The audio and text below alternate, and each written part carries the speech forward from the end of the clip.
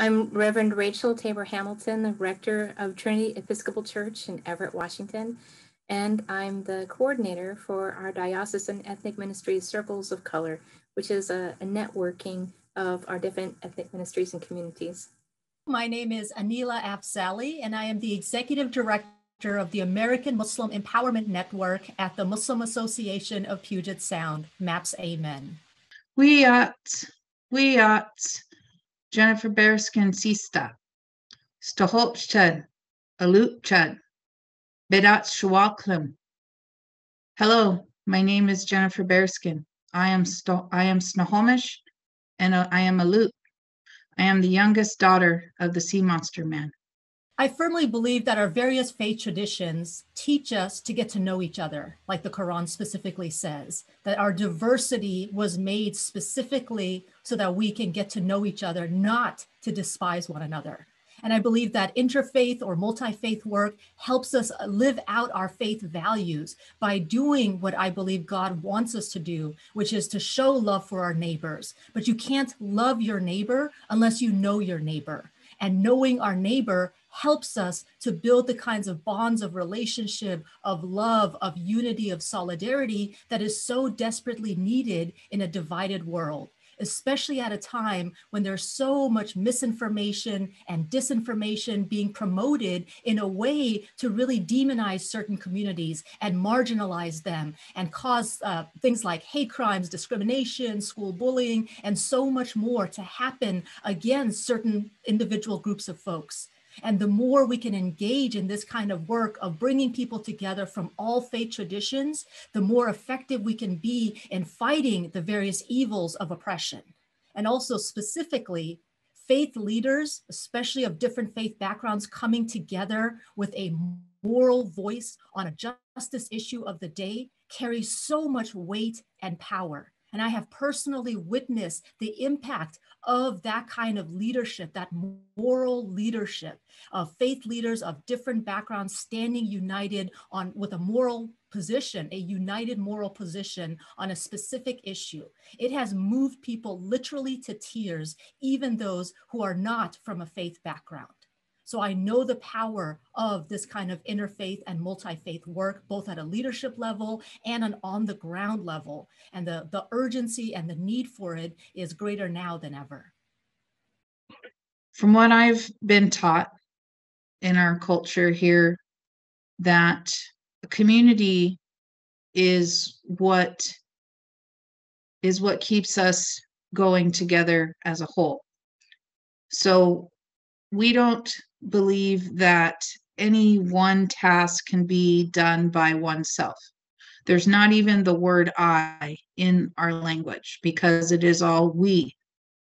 We always, going back to time immemorial, understood the balance of working together, whether that's with the plant people or with the salmon people or with the four legged people or the winged people it's important that all people come together to work together, to push forward together, to help together.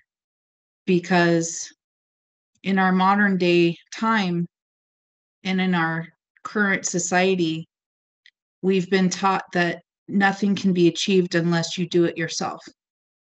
When in in the terms of teachings from long ago and just how Mother Earth as a whole works together, we know in our teachings that we all must come together as one and work as one so that we can maintain balance and continue to build relations, relatives, and ultimately to be able to work together as a community.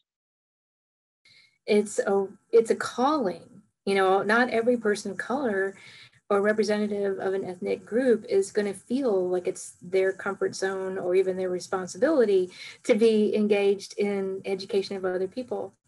But uh, folks like me, folks like the people in past understanding who are uh, people of color who are committed, are really willing to sort of be those educational guides and those entryways into their cultures and their belief systems. And that's the precious gift. Uh, so I, I, think that is something that paths to understanding and the people who uh, work within it um, as people of color uh, have that commitment. And I've, I've appreciated that in the trainings very, very much to allow uh, folks to, to be educators of their own traditions. They no one knows it as well as they do. Uh, so so just sitting at the at the feet of the masters of people who have lived in those traditions uh, all their lives is a wonderful wonderful gift. Coming from uh, family, my my father Don Bon, who is the sea monster man, who is a victim of boarding schools taught us about the importance of forgiveness. He fought in the Vietnam War and he had to carry a priest across uh, a minefield to get him to safety. And he went into the line of danger, even though this man represented what he experienced that was intergenerational trauma and um, a type of forgiveness that he knew he had to move forward. And that meant seeing that priest as a human being first, even though many did not see us as Indigenous communities as human beings, but that he would do what was right in his heart and his hutch. And he would do what he could to to get this man to safety. From what I've been told is that these two had a wonderful relationship, friendship going forward. Um, and they would send each other, you know, Christmas cards and they they I believe healed a lot of trauma and a lot of what you know specified genocide genocide of our people that had come through colonialism and um, I feel disguised in the terms of of certain religions or beliefs.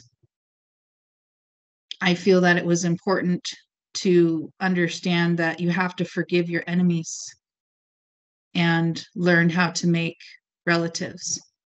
And that was an example that I learned from him that he did that. So I believe working in this type of organization to bring about multiple belief systems and faiths to work together to intersect to ultimately uproot that foundation of hate that has that has intertwined into many different uh, faiths and belief systems. And the only people that are going to change those um, to change it from the light to the to change from dark to light essentially is going to be us working together uh, I, I, think maybe in terms of impact, uh, some of the ones I remember are those transformational moments that we've been able to experience. Uh, I remember in particular uh, the first Faith Over Fear training that we did, we did in Longview, Washington. Uh, and I remember that one because it was our first one. It was intentionally uh, chosen to be in a sort of more conservative rural town in Washington. and we didn't know what to expect. and I remember the, the church had initially put out something like 30 chairs, thinking you know, we'll have a small group there. Uh, and, and the church leaders that we were working with had no idea how many people to expect either. Um, and I also remember the fear and anxiety that a lot of folks had about that. Uh, people were, I, I, literally heard somebody tell me to wear a bulletproof vest.